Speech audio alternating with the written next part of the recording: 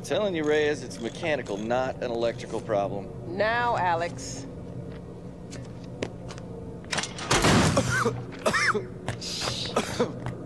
Uh, this looks like it might be a, an electrical problem. You think? Oh, hello. Hey, is this little fox, huh? Ah, she's cute, huh?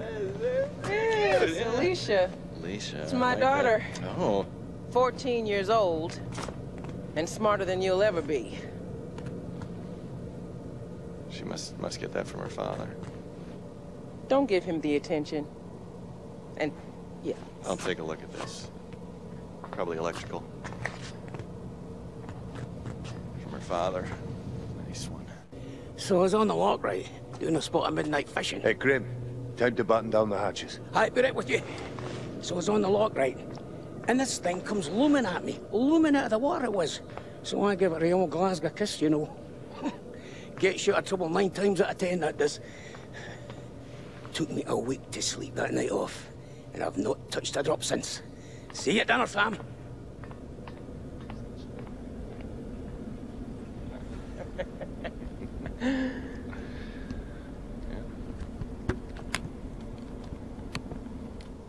All right, can we take B-roll, please? Thank you.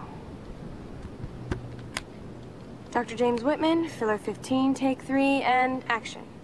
Okay, now take a firm grip and then slice him down the belly like this. Yeah, you got. Good lord, cut! Cut! Cut! Cut! Uh, is, is he coming back? I'll go get him. World-renowned archaeologist. I discover The world-renowned archaeologist, fish. Mr. I don't Dr. James Whitman. rare breeds fish. It's just a fish. It's I fine. it's just a You're gonna be fish. fine.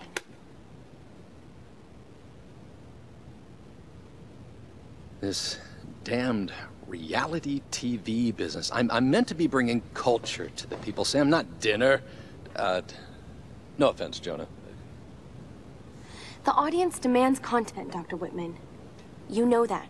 So until we find the Lost Kingdom, we need footage like this. Come on, let's just take it from the top, okay?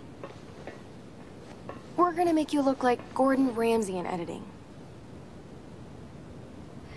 Dr. James Whitman, filler 15, take four, action.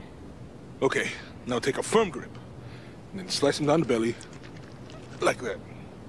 I've studied them so much, I can see charts on the back of my eyelids. But if I'm not right about Yamatai being in the Dragon's Triangle... I remember when you found that one of your father's digs. You ran up and showed it to me dressed in your penguin pajamas. I was five years old. It was my first find. You've got great instincts, girl. You just have to trust them. Hmm. That's what my father used to say. Now, there was a man that ran on instinct. For better or worse. He would have been so proud of you, Lara. We're getting closer to the storm. Well, whatever's coming, we'll get through it, eh?